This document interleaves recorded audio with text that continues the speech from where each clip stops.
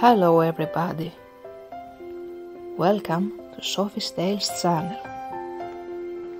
Make yourself as comfortable as you can and leave your worries and stress behind. This time is to relax.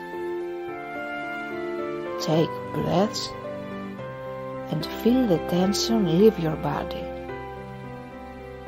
Close your eyes and dream the story I am about to tell you. Comic and romantic story from the world of ballet. Coppelia. In a mountain village on a distant mountain peak, there once lived an inventor called Coppelius, together with Coppelia, his daughter. Every day, Coppelia sat on the balcony of her house reading a book, but she never moved or spoke.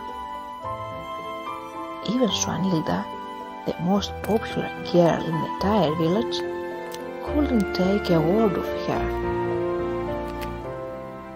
One morning, Swanhilda happily went out into the square, turning her trail on Franz. Much to her surprise, she saw him flashing white grease at Coppelia and sending her a bevy of sentries. Guys who flirt are the worst time mates, hissed Swanhilda, and Franz, who had not seen her before, was terrified.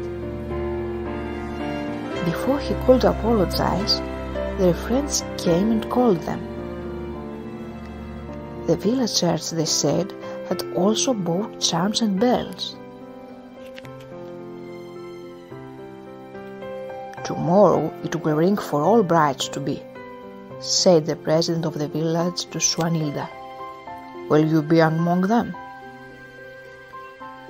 Unable to hide her tears, Swanhilda sadly shook her head and ran away, leaving Franz to feign ignorance.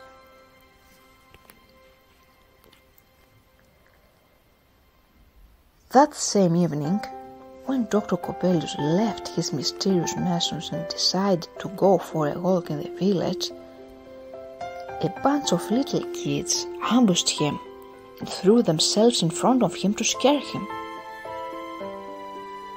The old inventor began to beat them with his cane to drive them away. Hearing the commotion, Swanhilda and friends went out into the square, but no one was there anymore.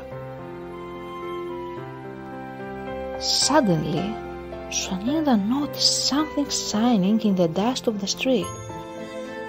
It was the key to Dr. Coppelius' house, which had fallen to him in the turmoil. Lucky us, cried, now we can go meet Coppelia in person. When the girls left, Franz appeared in the moonlight holding a ladder. He had planned to visit Coppelia too. Without breaking away from their fear, the girls broke into Dr. Coppelius' laboratory. There, they saw folded hands, googly eyes, and strong bodies, all motionless as if made of stone. Drawing a curtain in the dust, Swanhilda found Coppelia sitting in, in her familiar chair, reading her familiar book. Good evening, she said politely to her, but of course she got no response. She came even closer. Have you drunk the silent water? she asked her, and took no answer. Then she reached out and tugged at her skirt. Coppelia again did not react. Bending still further, Swanhilda fixed her opposite with her eyes and suddenly burst out laughing.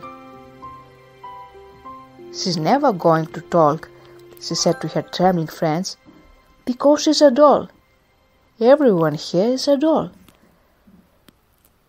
Jumping with excitement, the girls began to tune the toys and dance among themselves, turning the workshop up and down. They made such a noise that when Dr. Coppelius appeared among them, they did not even understand him. Out! Everybody out! he screamed, hitting their legs with his cane as they ran away. Swanhilda, seeing that she was not about to escape, hid behind the curtain next to Coppelia. Alone at last, Dr. Coppelius was still collecting the scattered pieces when suddenly Franz entered the laboratory from the balcony and stopped the rummaging. The old inventor could not believe his eyes. Why am I tyrannized like this? he wondered, but this time prepared to face the invaders. What do you want? he growled, grabbing Franz by the arm. I want to I want to ask for your daughter's hand in marriage, Franz stammered. Dr. Coppelius smiled. His smile was warm, but his eyes cold. An idea had just flashed into his mind. Sit down and have a drink, he murmured, and then we'll talk like good friends. He pushed Franz into a chair and began to fill his glass non-stop. He had mixed the wine with some magical potion. As soon as Franz fell asleep, Dr. Coppelius backed up and got to work. pulling the chair with the girl in the middle of the workshop, Dr. Coppelius watched her proudly. She was the most beautiful doll he had ever made, and now he was going to give her the gift of life as well.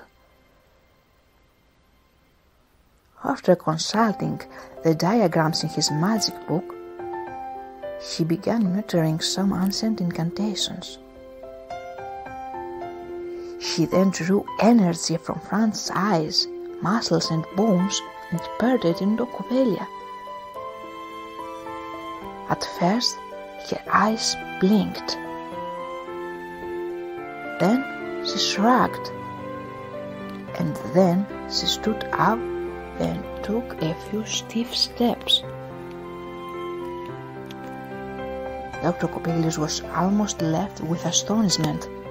He watched his doll move and dwell on its own, and his hopes grew higher and higher. After gathering himself with all his strength, he brought his hands to Franz's breast, absorbed the warmth of his heart, and led it to Coppelia's side. A small smile played on her lips and she began to breathe. Dr. Coppelius trembled with joy as he bent over her chest and listened to her heartbeat. But of course my heart is beating, thought Swanhilda, since I am a real person. You might be a fool not to understand that. Dr. Coppelius was not fool but his love for his creation had blinded him. He had not realized that Swanhilda was simply represented Coppelia. So, the faster she danced in front of him, even happier he felt. Swanhilda, meanwhile, was beginning to tire of the dance when she noticed Franz who was snoring on the table. As long as she chooses to wake him, at the same time she also tunes all the other dolls so that the disturbance does not attract the attention of Dr. Coppelius. Sit carefully, please, protested the doctor, running west of her to prevent damage, but Swanhilda wouldn't hear him. Pulling Franz to his feet, she urged him out of the door and ran away. Desolate, Dr. Coppelius collapsed. Next to him lay the lifeless, destroyed body of his beloved Coppelia, which in fact had never come to life.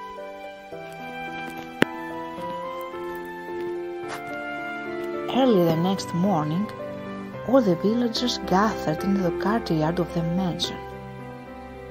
The wealthy owner had promised them a new bed, and they were all invited to celebrate its arrival. Flower braids and ribbons, bright and colorful, were moving with the wind. All the new couples had received the blessings of the headman of the village along with a small dowry.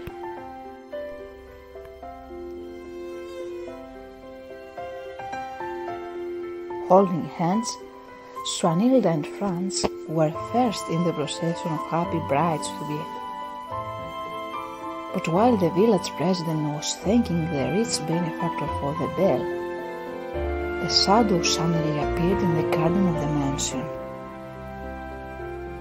Dr. Coppelius had wrapped Coppelia in a blanket and carried her from his laboratory there.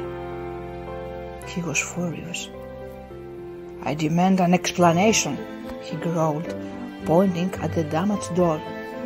I demand an apology Someone has to pay for the damage done.